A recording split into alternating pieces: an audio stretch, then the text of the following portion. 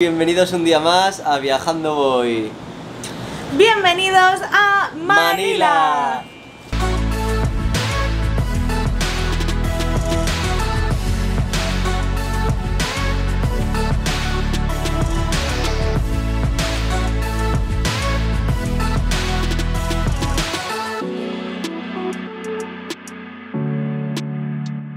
Bueno, hemos llegado ya oficialmente aquí a Filipinas.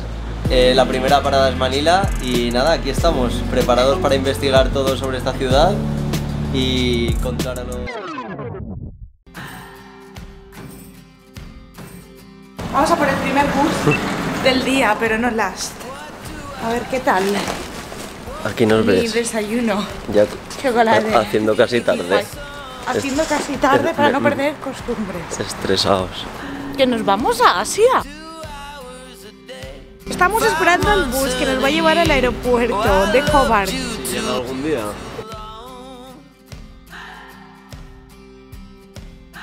Bueno chicos, ya estamos en el aeropuerto. Vamos a hacernos un cafecito. Nadia dice que no porque prefiere dormir en el vuelo. Vamos a embarcar el primer vuelo, deseando suerte porque tenemos dos horas al llegar a Sydney para cambiar de terminal y coger otro vuelo.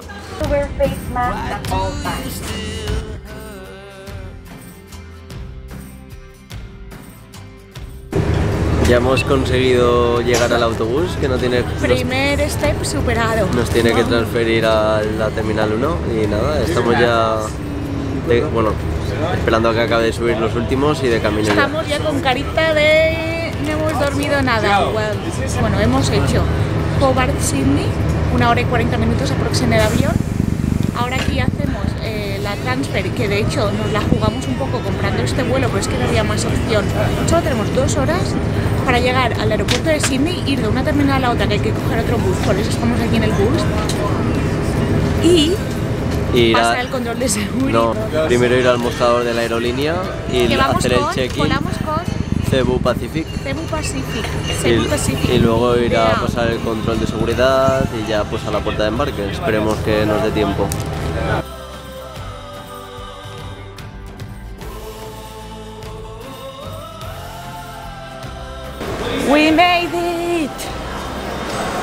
Por fin podemos decir que estamos ya de camino a nuestro siguiente vuelo. Sí, estamos en la terminal 1 del aeropuerto de Sydney Internacionales. Hemos hecho el check-in en el contador de Cebu Pacific, hemos pasado el control de seguridad, todo bien. Reto conseguido. Estamos embarcando, vamos. Nos vemos en unas horas en Manila.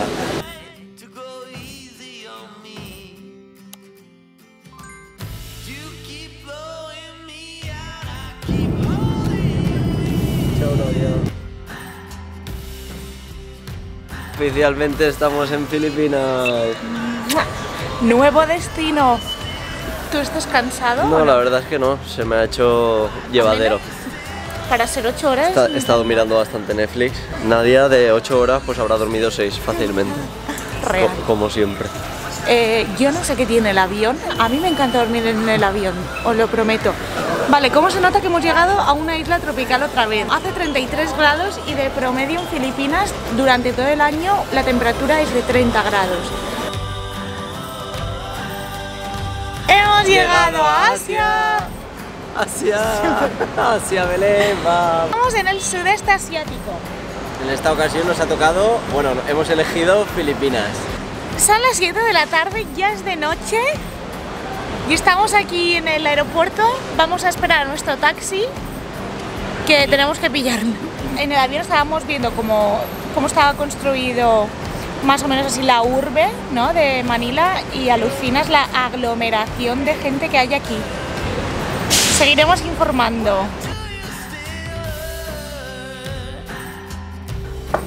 Hemos tenido mucha suerte. Y ha salido todo genial. Agua embotellada en Filipinas siempre, ¿eh? Por favor y gracias.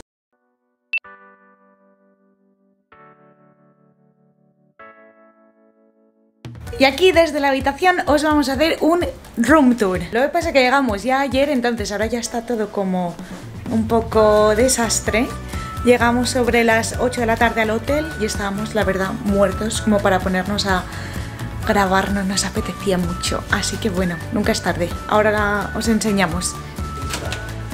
Hola, buenas. Ay, que me pillas aquí, que me acabo de cambiar. Pasa, pasa. Y te enseño mi casa.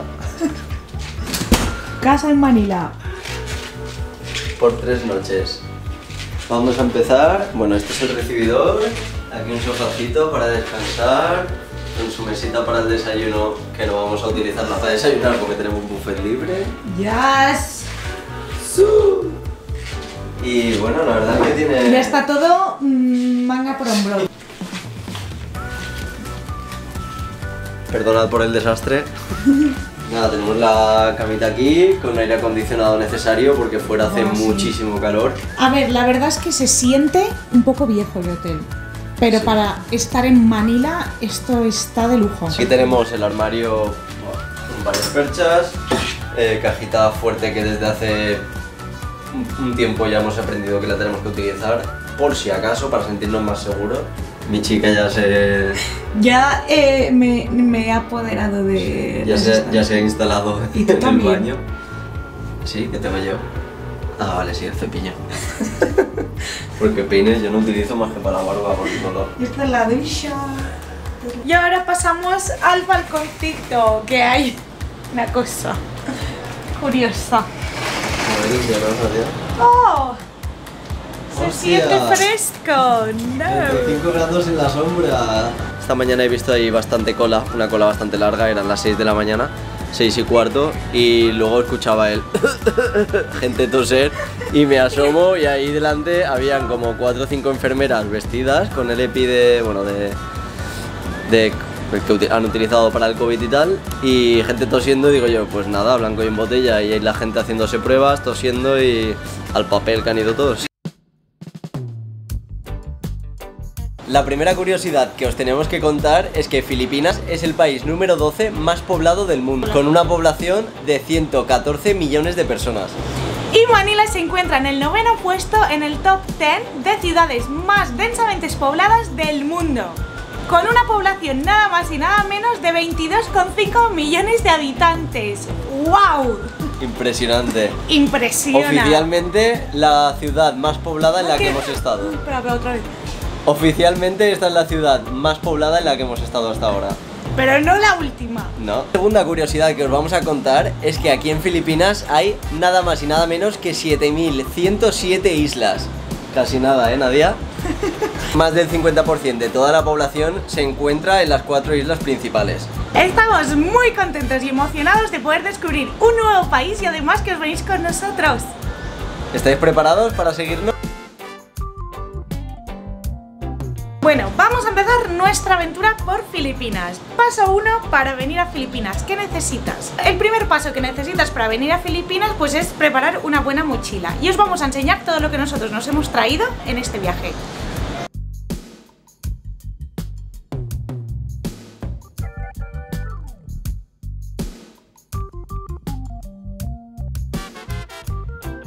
Son muchos los viajeros que pueden estar en Filipinas al menos 30 días sin necesidad de tramitar ningún visado.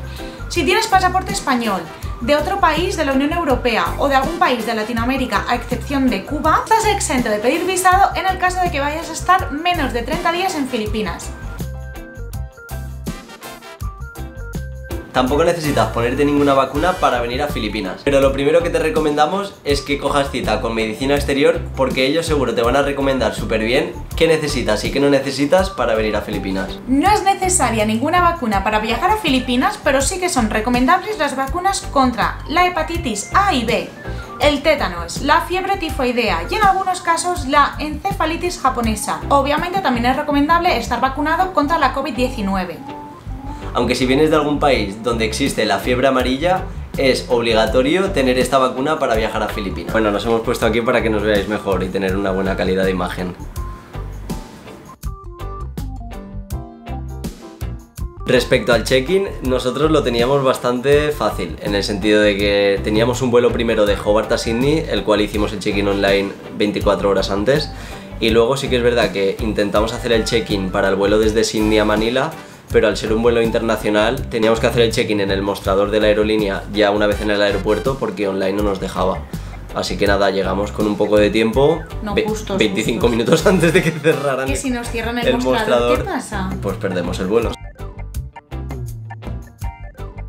Una vez llegamos a Manila, el siguiente paso era coger un taxi para ir hasta el alojamiento. No lo teníamos reservado No. ni nada, lo contratamos en el momento. ¿Y cómo lo contratamos? Pues a través de la página web de Booking, que nos linkeó directamente con una aplicación similar a Uber, que aquí se llama Grab. Y la verdad que es súper bien, es como Uber, pones tu ubicación y pones el destino donde quieres ir, enseguida te busca el driver, te coge y te deja en el hotel. Es igual que Uber. De hecho, Igual existían Uber. y Grab. Y Grab compró Uber, entonces ahora es solo una. Así. Sí. Escogimos el taxi desde el aeropuerto de Manila hasta el alojamiento. Y contando en lo que, entre lo que nos costó el taxi y luego eh, un peaje que tuvimos que pagar para coger una carretera más rápida dentro de Manila porque había un tráfico horrible, sí, una autopista. Eh, total fueron 500 pesos filipinos que al cambio son 8,50 euros. Y aquí enlazamos este punto con el siguiente de los pasos que debes hacer antes de venir a Filipinas, que es el dinero.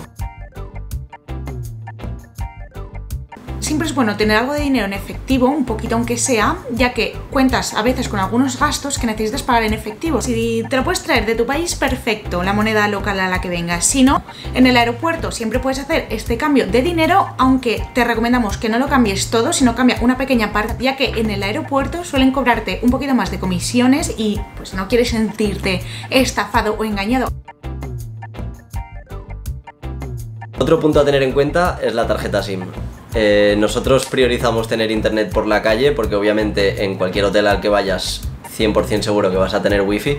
Está de más, así que por favor, una tarjeta SIM. Eh, en viajes anteriores decidimos comprar una SIM local, la cual es medianamente barata. Nosotros aquí hemos decidido probar algo diferente.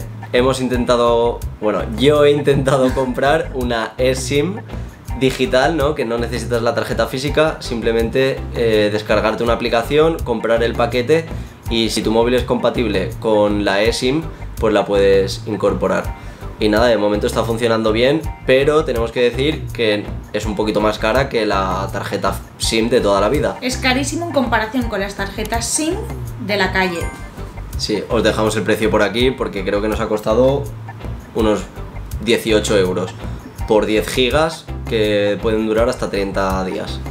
¿Es caro o no es caro? Dejadlo en los comentarios, depende, dependiendo de cada uno, Es su caro, experiencia y es bastante subjetivo.